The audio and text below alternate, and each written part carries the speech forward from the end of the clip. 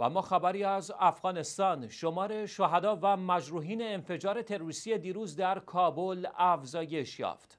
در پی حمله تروریستی سنی های تندرو به مرکز ثبت احوال در منطقه شیانشین در کابل بیش از 170 تن به شهادت رسیده و یا مجروح شدند.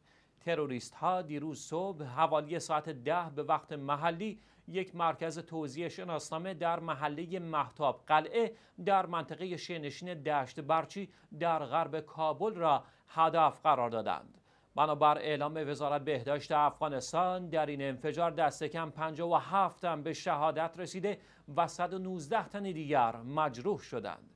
وزارت بهداشت افغانستان با اشاره به این موضوع که تمامی قربانیان این اقدام تروریستی غیر نظامی بودند افزود که 20 زن و 5 کودک نیز در بین شهدای این اقدام تروریستی هستند.